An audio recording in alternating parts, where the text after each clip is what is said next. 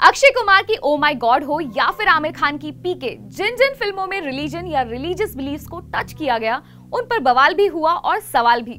और अब यही हो रहा है काली का एक पोस्टर सोशल मीडिया पर वायरल होने के बाद, जिसमें हिंदू गॉडेस काली को सिगरेट स्मोक करते हुए दिखाया गया और उनके दूसरे हाथ में था एक pride flag the moment this poster came out people started bashing on to this and hashtag arrest Leena Manimekalai trend करने लगा।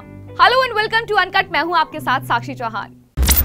बॉलीवुड की वो पाँच फ़िल्में जो फंसी बड़ी कंट्रोवर्सीज में for hurting the religious sentiments of people और वो फ़िल्में हैं ओ माय गॉड 2012 में रिलीज़ हुई ओ माय गॉड एक सटारिकल कॉमेडी ड्रामा फ़िल्म है। ये कहानी है कांजी लाल मेहता की who believe in God and want to sue God इस फ़िल्म में टारगेट किया गया ढोंगी बाबा और अंधविश्वास को।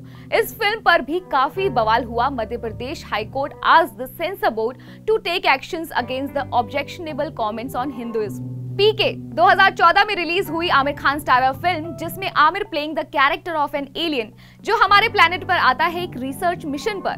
फ़िल्म में एक एलियन के थ्रू इंडिया में चले आ रहे कुछ रिलीजियस प्रैक्टिसेस और सुपरस्टिशंस को टारगेट किया गया। And in the same film lead actress Anushka Sharma fall in love with the Pakistani boy though this was the highest grossing film of that time पर इस फ़िल्म को काफ़ी ज़्यादा criticism झेलना पड़ा। एंड विश्व हिंदू परिषद और बजरंग दल ने इस फ़िल्म की कुछ चीज़ों का अपोज भी किया। My name is Khan. Shah Rukh Khan starrer My Name is Khan and I'm Not a Terrorist was basically against Islamophobia. The movie didn't show any objectionable scenes or statements but want to tell people that not every Khan person is a terrorist.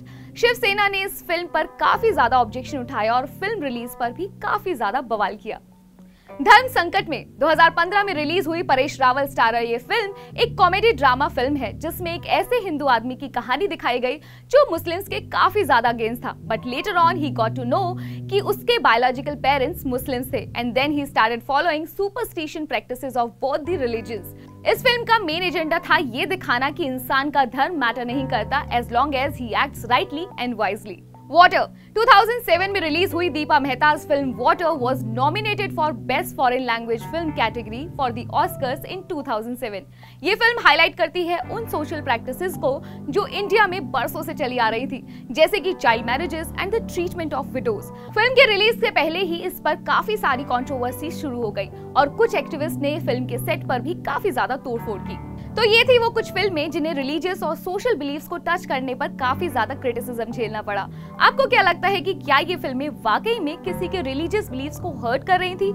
या in films में जो दिखाया गया वो एक brutal truth है, जिसे नजरअंदाज किया जा रहा था? और काली पोस्टर को लेकर भी आप अपने व्यूज़ हमें कॉमेंट सेक्शन में बता सकते हैं। And yes don't forget to like and share this video and subscribe to uncut मैं हूँ आपके साथ साक्षी चौहान और आप देख रहे हैं अनकट